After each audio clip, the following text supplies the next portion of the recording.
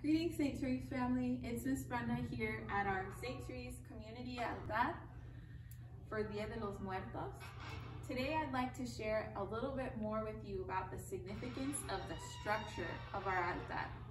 Altar means altar. Our altar is typically where we would place our offerings.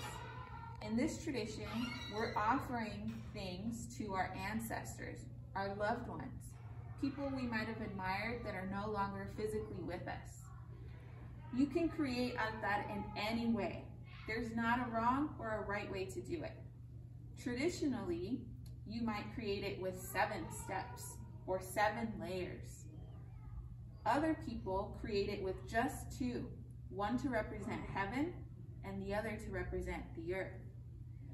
For our community altar this year, I chose the tradition of three layers or three steps. And this is meant to um, remind us of our three deaths. The first being the death of our physical selves or our bodies. It's the moment our heart ceases to exist, or our bodies cease to function, or our, our gaze or the look in our eyes no longer has any depth.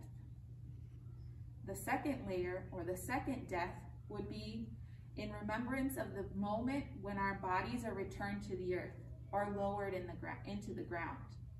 The third, which is something that is mentioned in the Disney movie Coco, is when there's nobody alive left to remember us um, or call our spirit back.